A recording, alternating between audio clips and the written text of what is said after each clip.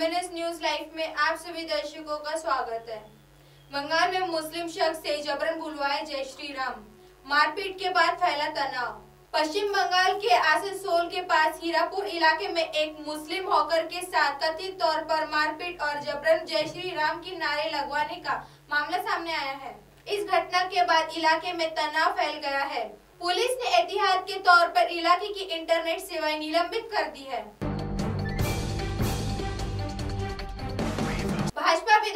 ओवैसी पर पलटवार।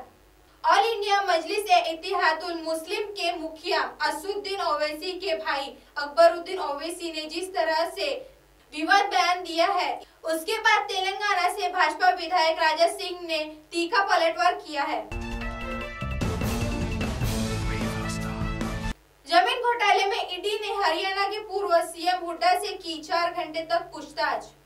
हरियाणा के पूर्व सीएम और कांग्रेस के कद्दावर नेता भूपेंद्र सिंह हुड्डा से प्रवर्तन निदेशालय गुरुग्राम ज़मीन घोटाले केस में पूछताछ की।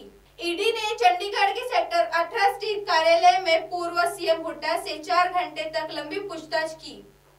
एमएनएस न्यूज़ लाइव की खबरें देखने के लिए आज ही प्ले स्टोर से एमएनएस हिंदी ऐप डाउनलोड कीजिए और इस चैनल को सब्सक्राइब कीजिए। धन्यवाद।